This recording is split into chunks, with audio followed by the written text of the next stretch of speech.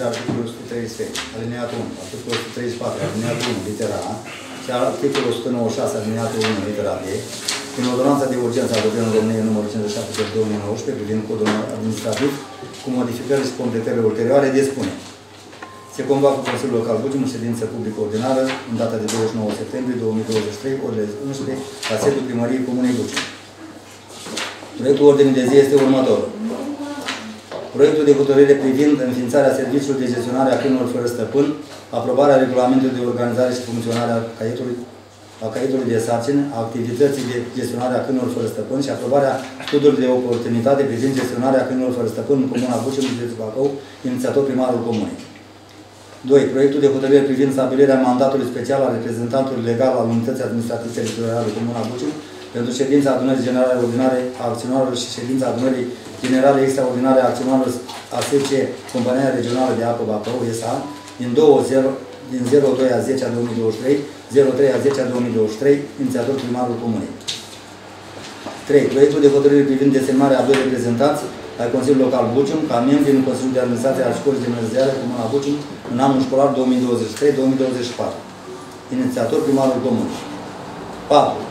Proiectul de hotărâre privind desemnarea reprezentantului Consiliului Local Bucium în Comisia de Evaluare și Asigurare a Calității Educației la Școala Gimnazială Comuna Bucium, inițiator primarul Comunei.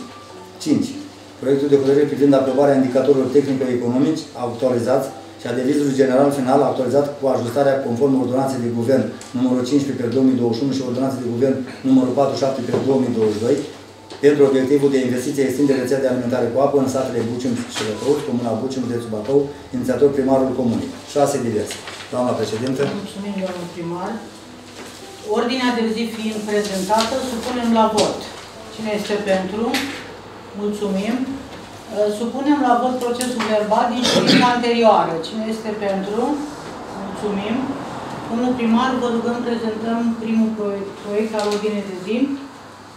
Referat de motivare la proiectul de hotărâre privind inițiarea serviciului de gestionare a câinilor fără stăpân, aprobarea regulamentului de organizare și funcționare a caietului de sarcini, activității de gestionare a câinilor fără stăpân și aprobarea studiului de oportunitate privind gestionarea câinilor fără stăpân în Comuna Bucim, județul Bacău.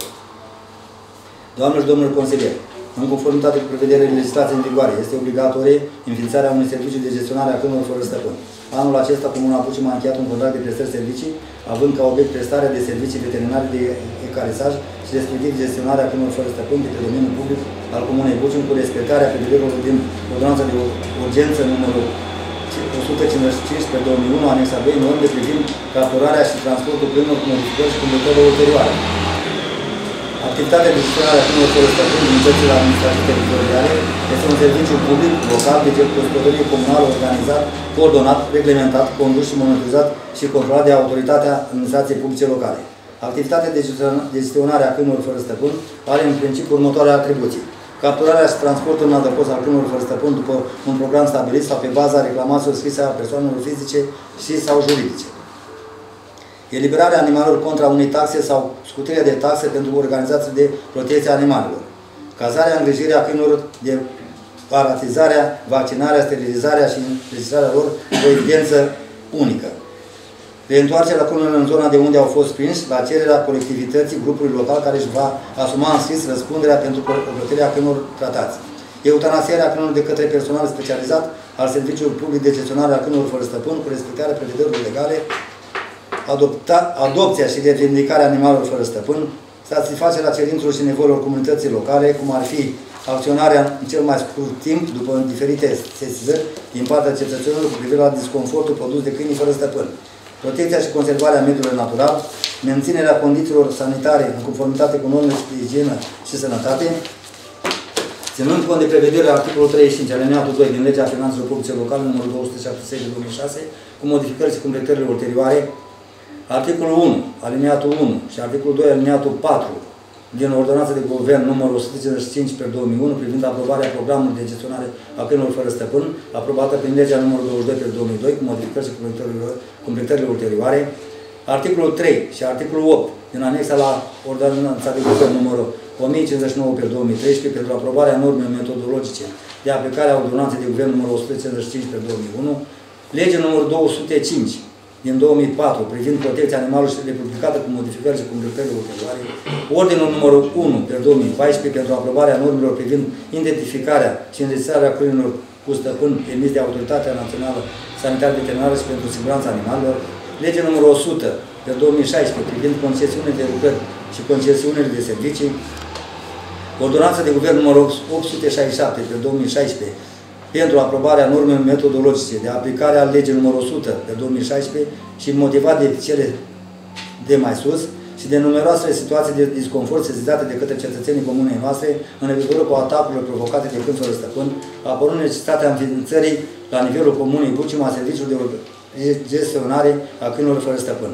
Chiar dacă acest serviciu nu vom putea autoriza pentru că necesită costuri mari, trebuie să aprobăm înființarea și toate celelalte documente pentru a putea delega unei firme autorizate care să sub, subroge care în drepturile și obligațiile Comunei Bucium cu privire la, aceste, la toate aceste aspecte care țin de gestionarea câinilor fără stăpân. Despre cele ce se vor hotărâ, urmează să informăm Inspectoratul Județean de Poliție Bacău, care ne-a solicitat încă din luna martie să transmite hotărârea Consiliului Local prin care s-a aprobat înființarea acestui serviciu. Față de cele menționate mai sus, rugăm analiza și aprobarea proiectului de hotărâre prezentat. Doamna președinte. Mulțumim, domnul primar. Dăm cuvântul președintelui Comisiei Juridice pentru a-și expune punctul de vedere la acest proiect. Membrii Comisiei Juridice au analizat conținutul proiectului și au fost de acord cu înființarea serviciului de gestionare a câinilor fără stăpân și a regulamentului de organizare și funcționare în, pe domeniul public al Comunei Bucium, județul Bacău. Mulțumim. Ținând cont că acest proiect este destul de amplu, a fost studiat cu atenție în cadrul Comisiei Juridice și pentru aceasta supunem la vot acest proiect. Cine este pentru? Mulțumim. Sunt abține.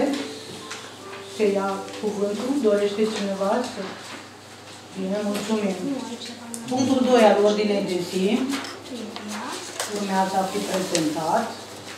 Domnul primar, vă rog. Referat de motivare la proiectul de hotărâre privind stabilirea mandatului special al reprezentantului legal al Unității Administrativ-Teritoriale, Comuna Bucium, pentru ședința adunării generale ordinare și acționare și, de, și ședința adunării de generale extraordinare a acționarilor SC, Compania Regională de Apă Bacău, ISA din 02010 2023 03 a 10 a 2023.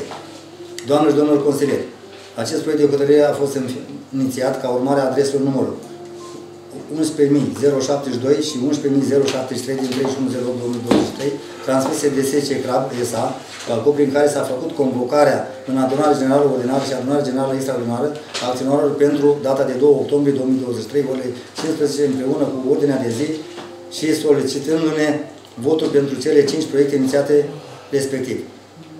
În adunarea ordinară, raportul semestrial al Consiliului de Administrație asupra activității de administrare la 30.06.2023, încheierea actelor adiționale la contractul de mandat ale administratorilor de prelungire a duratei mandatelor pe o perioadă de 4 luni sau până la finalizarea procedurii de numire a administratorilor declanșate de către ADIP, împuternicerea persoanei fizice care va îndeplini formalitățile de, de publicitate și înregistrarea hotărârii AGA la Registrul Comerțului, în adunarea extraordinară validarea rectificarea actelor adiționale numărul 91-110 la contracta de delegare a gestiunii serviciilor publice de alimentare cu apă și de canalizare.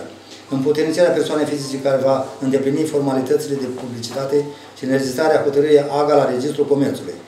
Față de aceste succederi a fost întocmit proiectul de hotărâre pe care îl supun astăzi analizării și dezbaterii dumneavoastră și prin care s-a propus stabilirea mandatului special al reprezentantului legal al Unității Administrativ-Teritoriale Comuna Bucium ca să voteze pentru la cele cinci subiecte în sensul că suntem de acord cu acestea.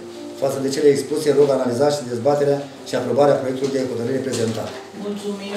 Dăm cuvântul președintului Comisiei Juridice. Mulțumesc. Membrii Comisiei au aprobat favorabil proiectul de hotărâre care prevede stabilirea mandatului special al reprezentantului legal al UAT, Comuna Bucium. Mulțumesc.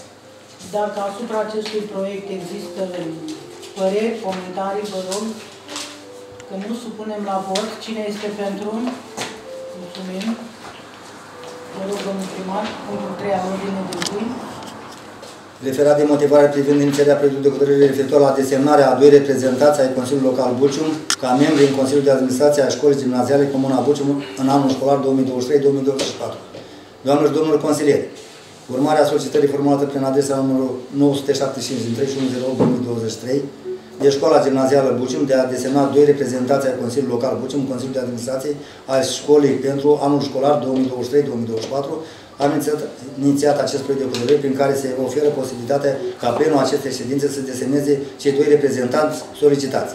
În conținutul proiectului de hotărâre am formulat propunerea pentru doamna consilier Moldoveanu Gașcu Lodica și domnul consilier Denci Ion pentru pe considerentele expuse și în anii anteriori care au dorința și capacitatea de a se implica în activități școlare.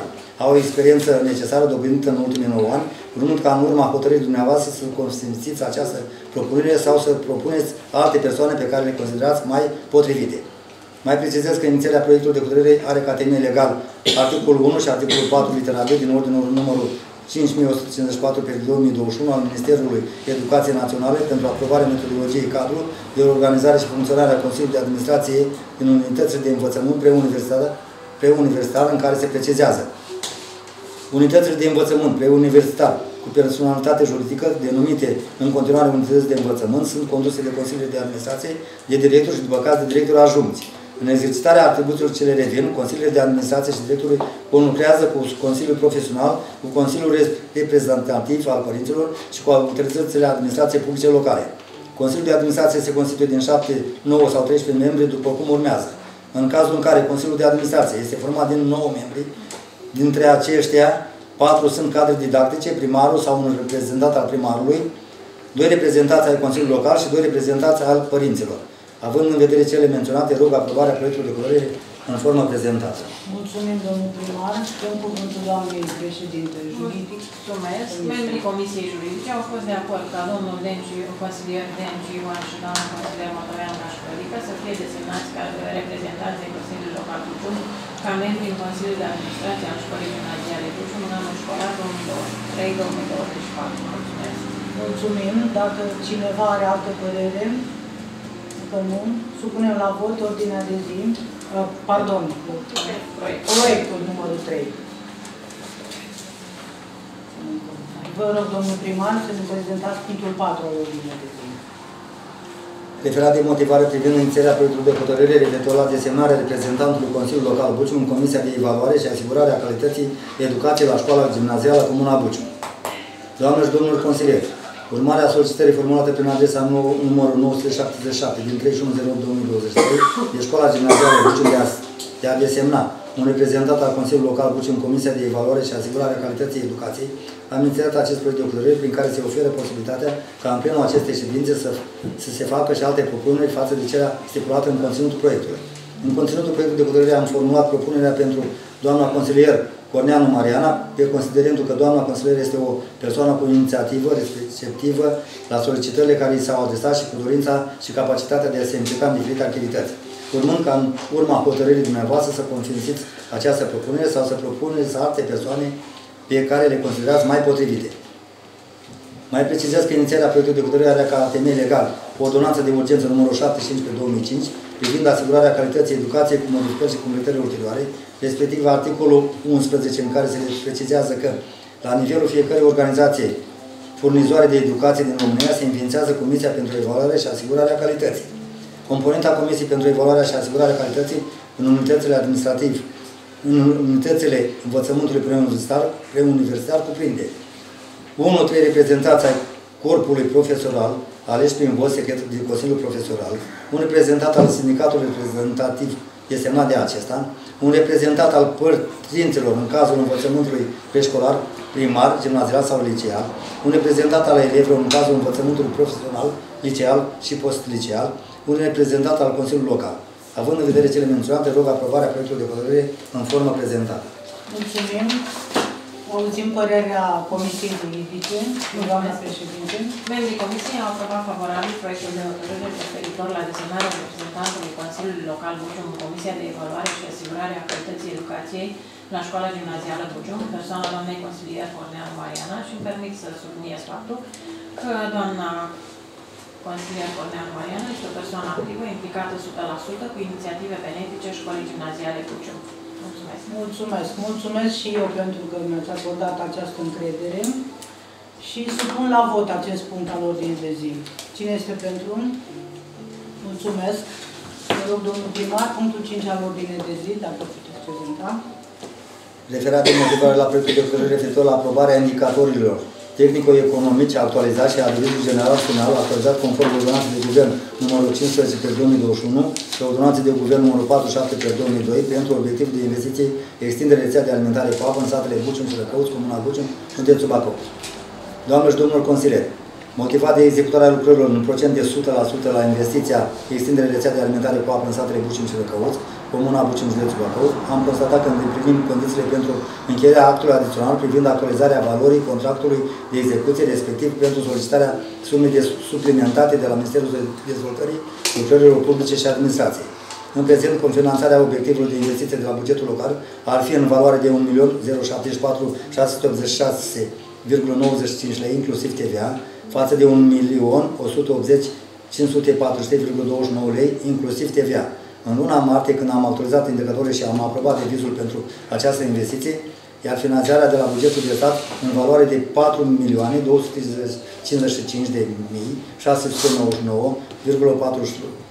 4.255.699,48 lei, inclusiv TVA, față de 4.293.438,06 lei, inclusiv TVA, în luna martie. Aceasta este motivația pentru care am actualizat indicatorii tehnico-economici și devizul general pentru această investiție și întrucât aceasta este importantă și necesară, rog analiza și aprobarea proiectului de hotărâre. Mulțumim. Domnul președinte al Comisiei Juridice, Economice, să ne spună părerea.